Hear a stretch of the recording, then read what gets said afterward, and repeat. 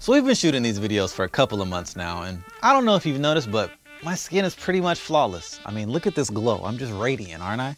And you wanna know what my secret is? It's my young blood. And old people, they're after it. Oh God.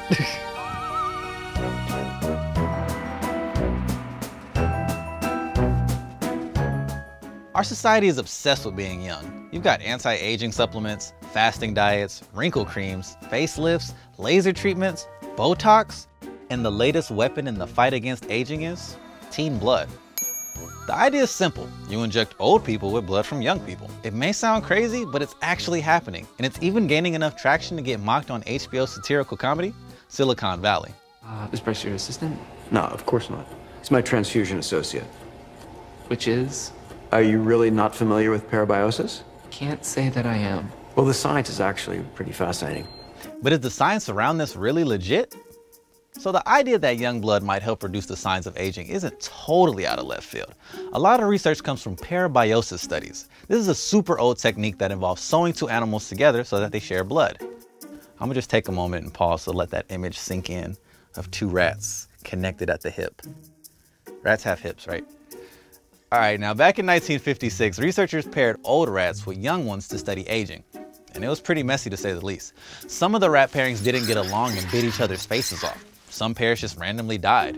But for those that did survive, researchers did find some anti-aging benefits. Basically, the bone density of the old rats started matching the bone densities of the young ones. Okay, so parabiosis studies have come a long way since then, both in terms of technique and what we know about blood and aging. Studies in the 70s showed that older mice paired with younger mice ended up living longer than the controlled groups. Now fast forward to the 2000s where some parabiosis studies have shown that blood from young mice improves liver and muscle cells in aging mice.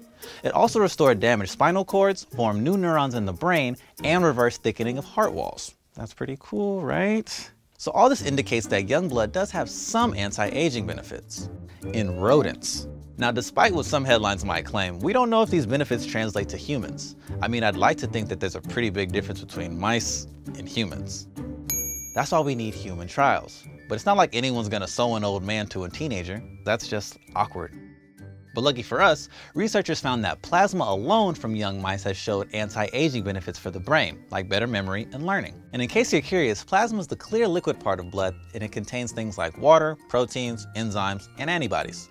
Okay, so this means that we can do human trials without having to sew two humans together. Yay! We can just transfer the plasma, a process that we've been doing for a while to treat things like liver failure, severe burns, and major infections. And now we're starting to see these anti-aging trials being offered to the public, but for a price. For the fee of $8,000, a company called Ambrosia, which is based in Monterey, California, is running a clinical trial that involves infusing people over the age of 35 with blood plasma from people 25 and younger. Now, it's not quite like the clip from Silicon Valley. They're getting the plasma from blood banks. They're testing people before and one month after the transfusion. And they're measuring a bunch of stuff in the blood associated with various diseases and aging. Now, this trial has been raising some eyebrows. For starters, it's accepting anyone over the age of 35, and I've been repeatedly told by my producers here that 35 is not exactly elderly.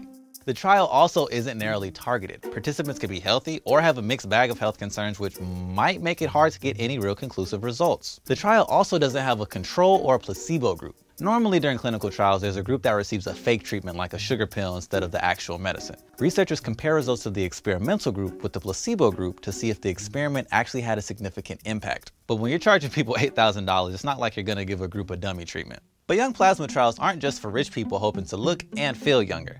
They're also looking at treatments for stroke, Parkinson's disease, and Alzheimer's. Take Alzheimer's for example. It's the disease that affects brain function, leading to memory loss, confusion, and disorientation.